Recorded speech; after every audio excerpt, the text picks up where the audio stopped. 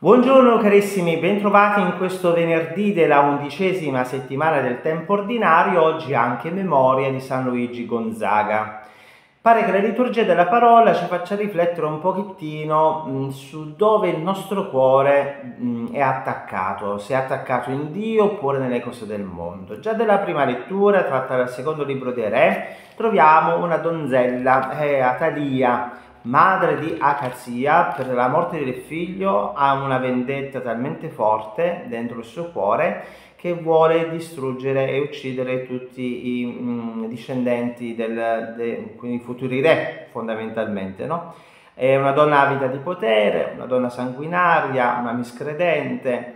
Eh, e allora ecco che viene fuori il, il sacerdote Yoyada che salva la, la dinastia regale perché viene messo da parte, viene nascosto eh, questo bambino che cresciuto poi diventerà il nuovo re. Di fronte a questa acclamazione ovviamente Atalia rimane sconcertata, quindi dice a voce alta che è, è qualcosa di una, una, una congiura, congiura e, e poi alla fin fine verrà uccisa di spada. Suo cuore è attaccato alla vendetta, all'odio, all'egocentrismo, alla sete di potere, fa sì che la sua vita, anche se dopo vari anni, comunque va nel decadimento e nella fine.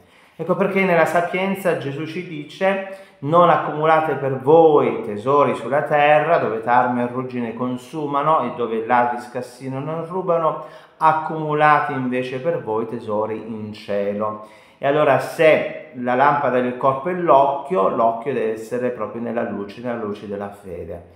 Quella luce che è San Luigi Gonzaga, di cui oggi facciamo memoria, siamo nel 1568 quando nacque ehm, a Castel delle Stiviere a Mantova, un bambino che viene stradato però dal padre nell'opera bellica perché così era, sì, un padre così voleva, ma il figlio no. Infatti nel suo cuore c'era il desiderio di rispondere alla chiamata di Dio che si concretizzò all'età di 14-16 anni quando intraprese il cammino nella compagnia di Gesù.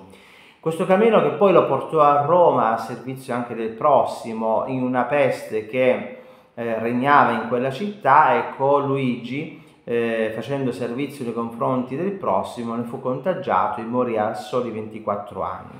Famosissima la lettera che scrisse alla madre, dove in maniera molto bella diceva O illustrissima signora, guardati dall'offendere l'infinita bontà divina, piangendo come morto chi vive al cospetto di Dio e che con la sua intercessione può venire incontro alle tue necessità molto più che in questa vita quella grande fede lui Luigi l'ha vissuta attaccando il suo cuore alle cose del cielo, non a quelle della terra. Ci auguriamo di poterlo anche fare noi nel nostro cammino.